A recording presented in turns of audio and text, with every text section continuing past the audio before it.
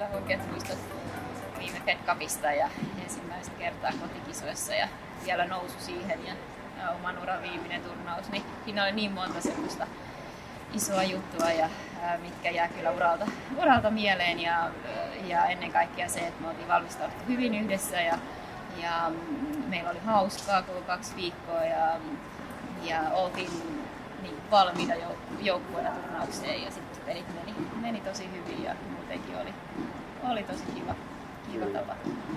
Se oli iso rupistus, niin kuin sanoitkin, että siinä tehtiin paljon asioita kentällä ja sen ulkopuolellakin ja joukkue oli aina hymyissä sui. Niin tota, onko tämä myöskin sitä, mitä sä odotat myöskin sitten tulevalta joukkueelta, jota tietysti ei ole vielä nimetty? Kyllä, että kyllä mä uskon siihen, että on hyvä yhteishenki ja kaikilla on kivaa ja, ja halu olla mukana ja tykkää olla siellä eri tapahtumissa ja muuten, muuten niin kyllä ne pelitkin silloin menee aika hyvin. Että kuitenkin joukkue, tapahtuma ja sillä niin kuin yhteisfiiliksellä niin voitetaan paljon pelejä nyt lähtee valmistautumaan, että tulee valmistava leiri joulukuussa, niin mitä odotuksia siitä?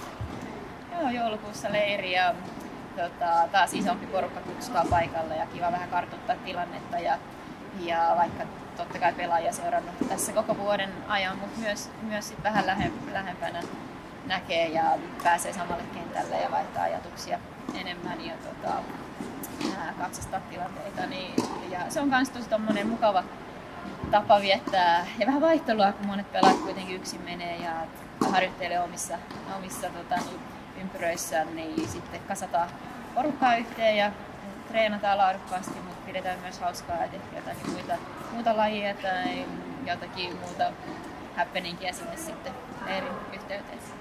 Tosiaan turnaus on 4-7. helmikuuta, eli neljän päivän rupeama tulossa. Kovia maita, kakkosryhmässä pelataan. Odotusarvot, ei tiedä pelaajia vielä, mutta odotusarvot tulevasta turnauksesta.